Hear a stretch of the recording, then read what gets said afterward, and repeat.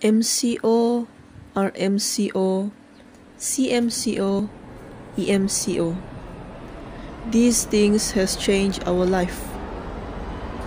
After being in lockdown for almost 2 years, I would like to ask you these questions. Are you okay? Do you feel okay?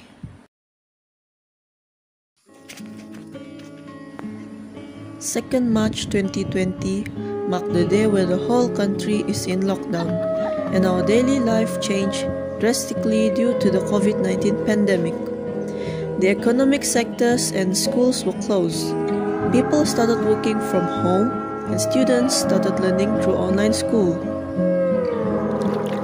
Before the lockdown, I have never imagined that we will be studying through online school.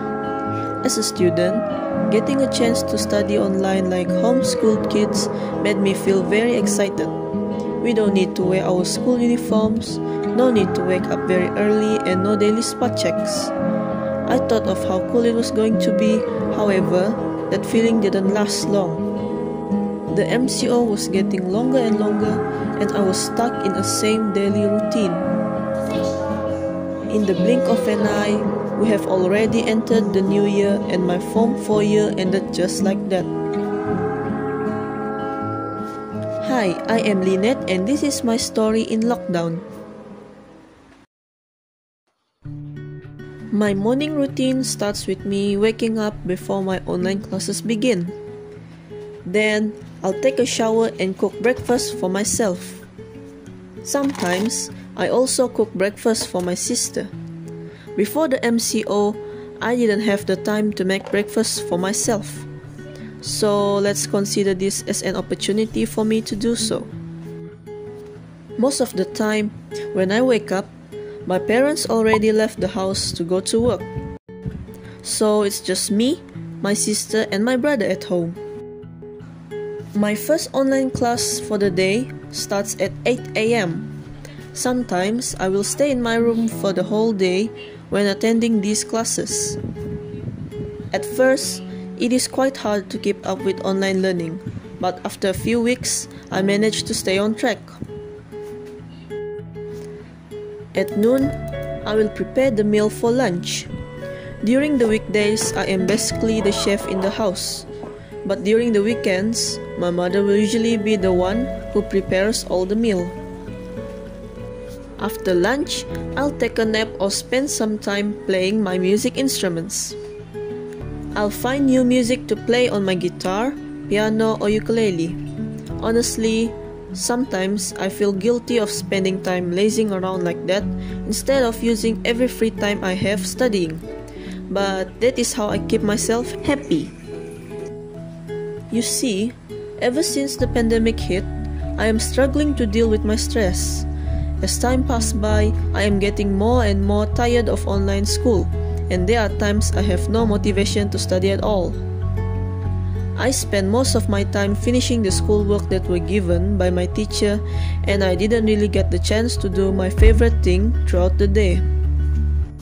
That was when I realized that I am not okay and my routine has become unbalanced so I reconstructed my daily schedule.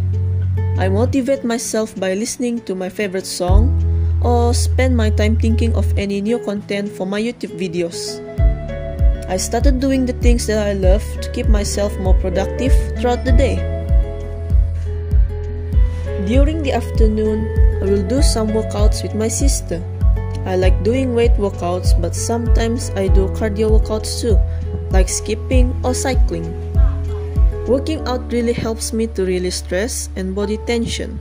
I feel it is important for me to take care of my health during this pandemic because it made me feel so good, so I started working out regularly.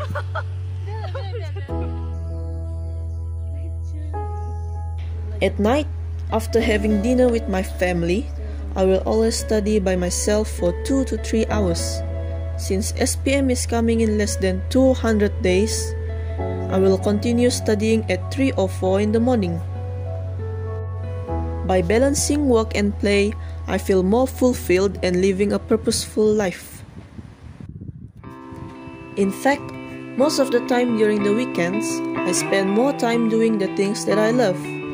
I'll make sure to take a rest from studying to prevent myself from experiencing burnout. I'll spend my time by watching Korean entertainment show and this way I can give some time for myself to relax.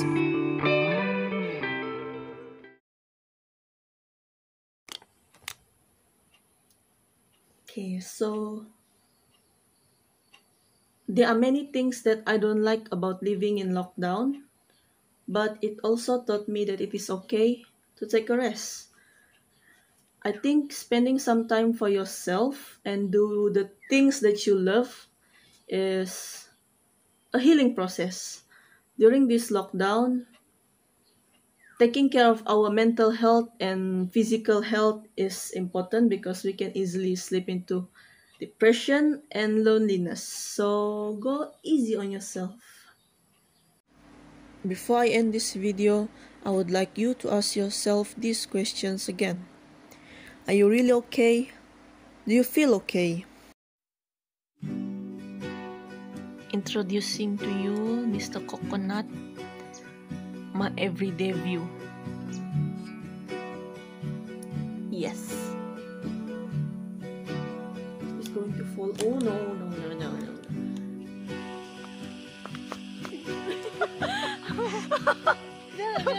the lighting is great.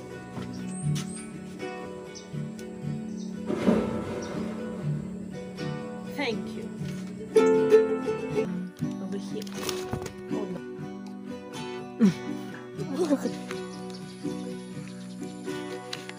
I think that's it for today.